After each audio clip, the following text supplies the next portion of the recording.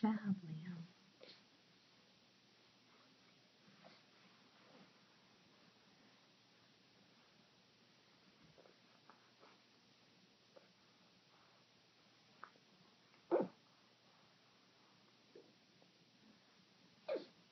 July, I think, 26th.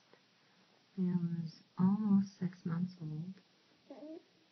And, ooh, excuse you. He really wants to crawl. So he's getting up on all fours, but it needs some work.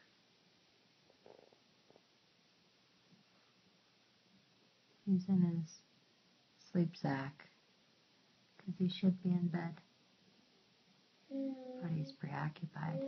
Yeah, he knows he's supposed to be in bed. Liam.